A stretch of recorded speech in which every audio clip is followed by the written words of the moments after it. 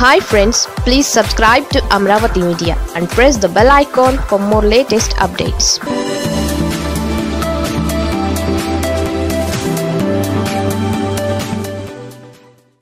Jagan tour తర్వాత ఢిల్లీ నుంచి గవర్నర్కు అర్జెంట్ కాల్ అసలు విషయం ఇదేనా? ఏపీ గవర్నర్ బిశ్వభూషణ్ హరిచందన్కు ఢిల్లీ రావాలని కేంద్ర హోంశాఖ నుంచి పిలుపు వచ్చింది. సీఎం వైఎస్ జగన్ ఢిల్లీ పర్యటన చేసి వచ్చిన మూడు రోజుల వ్యవధిలోనే గవర్నర్ హరిచందన్కు ఢిల్లీ పిలుపు రావడం ప్రాధాన్యం సంతరించుకుంది. ప్రస్తుతం రాష్ట్రంలో నెలకొన్న పరిణామాలు మూడు రాజధానుల అంశం పెండింగ్లో ఉండడం విభజన సమస్యలు ఇలా పలు అంశాలపై ఈ టూర్లో గవర్నర్తో కేంద్రంలో పెద్దలు చర్చించే అవకాశాలు కనిపిస్తున్నాయి. ఏపీ గవర్నర్ హరిచందన్ ఢిల్లీ వెళ్ళి చాలా రోజులైంది. కరోనా నేపథ్యంలో ఆయన రాష్ట్రానికే రాజ్భవన్కే పరిమితమవుతున్నారు.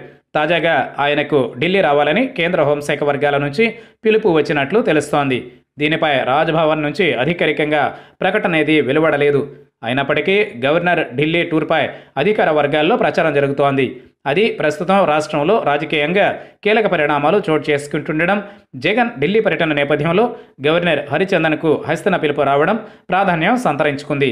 ఈ టూర్లో గవర్నర్ ప్రధాని మోదీతో పాటు హోంమంత్రి అమిత్ షాను కలిసే అవకాశం ఉంది.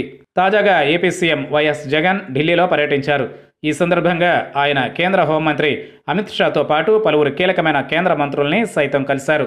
ఏపీలో నెలకొన్న పరిణామాలను వివరించడంతో పాటు పెండింగ్ సమస్యలను వారి దృష్టికి తీసుకువెళ్ళారు.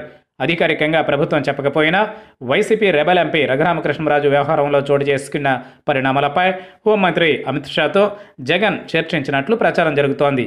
ఈ నేపథ్యంలో ఇప్పుడు గవర్నర్కు పిలుపు రావడాన్ని బట్టి చూస్తే జగన్ చర్చించిన అంశాలపై ఫాలో అప్ కోసం గవర్నర్ను రప్పిస్తున్నారా అన్న ప్రచారం జరుగుతోంది. ఢిల్లీ పెద్దల నుంచి గవర్నర్కు వచ్చిన కాల్ సమయం సందర్భం బట్టి చూస్తే వైసీపీ రెబల్ ఎంపీ రఘురామరాజు వ్యవహారంతో పాటు ఏడాదిన్నరగా పెండింగ్లో ఉన్న మూడు రాజధానుల అంశంపైన కేంద్ర పెద్దలు చర్చించే అవకాశాలున్నాయి. రఘురామరాజు వ్యవహారంలో పెట్టిన రాజద్రోహం కేసు సిఐడి కస్టడీలో చోటు చేసుకున్న పరిణామాలపై ఏపీ ప్రభుత్వం విమర్శల పాలవుతోంది. దీంతో ఈ వ్యవహారంలో రఘురామ చేసిన ఫిర్యాదులపై కేంద్ర పెద్దలు గవర్నర్ వివరణ తీసుకోవచ్చని తెలుస్తోంది. అలాగే పెండింగ్లో ఉన్న మూడు రాజధానుల వ్యవహారంలో చట్టబద్ధంగా తీసుకోవాల్సిన చర్యలపై గవర్నర్కు క్లారిటీ ఇచ్చే అవకాశాలు ఉన్నట్లు తెలుస్తోంది.